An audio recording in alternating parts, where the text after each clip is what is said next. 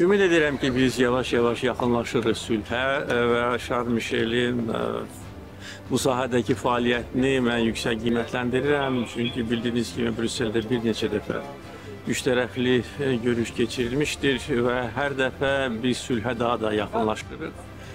Bu dörd tərəfli görüş Şarl Mişel və Emmanuel Macron tərəfindən təşkil edilmişdir və e, bu görüş zamanı da önəmli məsələlər müzakirə edilib və hesab edirəm ki, e, bu görüşün də sülh müqaviləsinə çatmaq üçün e, önəmi olacaq.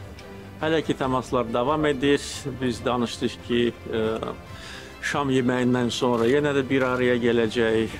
Hər halda e, sülh prosesinə artıq təkən verildi.